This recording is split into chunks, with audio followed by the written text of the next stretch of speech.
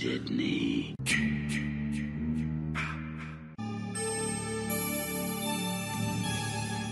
What's going on, everyone? Welcome back to another episode of Nightmare Culture. In today's episode, as you can tell by the title, what the hell is happening to Texas Chainsaw Massacre? Now, I'm not doing this video to just gripe and complain because I really love the game and I want the game to succeed. I just have two things that are worrying me. Really, one's more of a complaint and the other's definitely a worry. So we'll start off with the big worry. For the past couple weeks, I've been trying to get into a match, and it takes anywhere from four to five minutes roughly to find a match, which doesn't seem like that long. But then once I find a match, you got players that sit there for a little bit and then they exit out, and I'm right back to having to search for a match again.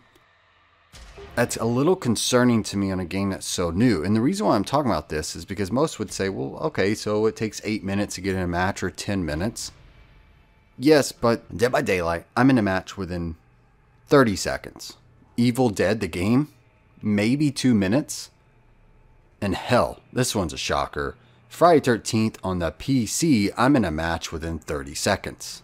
We're talking the same time frame. I'm not trying to get in a match during the day where people are at work and school. I'm getting in a match around anywhere from 8 to 11 o'clock at night. So what is going on at Texas Chainsaw Massacre? It's taking anywhere from 7 to 12 to 15 minutes to technically get in an actual match. Yes, I'm finding players, but they exit, and then we go back, and then they exit. I just don't understand it. And maybe I just don't know what I'm talking about. Maybe I don't know how servers work. I don't know how it all works, and maybe that's all it is. And if it is, then I guess ignore me. But it just seems weird for a game that's fresh and new I guess to not have the same, I don't know, maybe it's the same fan base. I don't know. I don't know what it is. But I want this game to succeed. So I hope that it gets fixed, or I hope that it's just maybe in my head. I don't know. The whole point of this video is to kind of leave it up for open dialogue. Does anyone else have the same issue? And if you do, what do you think it is? Do you think that this game is just not a strong fan base because of what it is Texas Chainsaw Massacre versus obviously something like Dead by Daylight, where there's tons of different killers. Friday 13th has its own huge fan base that wish the game never died. And Evil Dead just, I guess, is popular as well. Now that that's out of the way, my actual complaint is Leatherface no longer has to be a part of the game. Now, for a lot of fans, that's a big deal. Like a lot of people are very excited about it. I'm going to state why I'm not.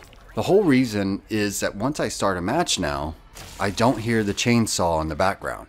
So as I fall as whatever character I'm being, I get it, I escape from the little chain, hook up and all that. As soon as I exit out the door, I'm really not that worried about anyone coming after me. It just, I don't know, it doesn't feel as tense and it doesn't feel like Texas Chainsaw Massacre. I just feel like I'm in a house full of crazy serial killers. I want the revving of the chainsaw, that Leatherface a moment. The moment you escape, you're like, oh Leatherface is right next to me. For me, that's my only complaint. The other is a worry, that was a complaint.